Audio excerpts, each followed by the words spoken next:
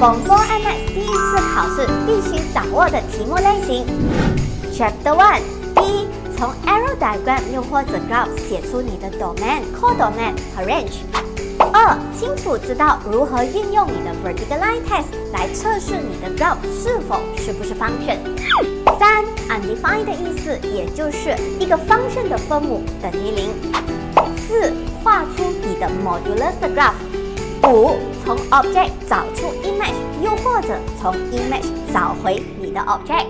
六，match to itself 的意思呢，就是当 object 和 image 是相同的，也就是说，你可以写成 alpha is equals to s。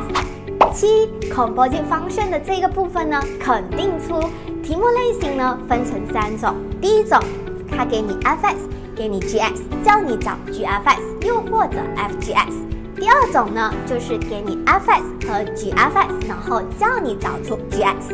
第三种呢，就是给你 g_x，给你 g_f_x，叫你找回这个 f_x。八，也就是计算你的 inverse function，有时候它会给你 inverse function，让你找回你的 function。九，horizontal line test。十，也就是最后一个，就是让你从这个 f_x 的 graph 画出你的 f inverse 的 graph。最后，老师送上几道习题给大家，希望大家的这一次考试顺顺利利，加油！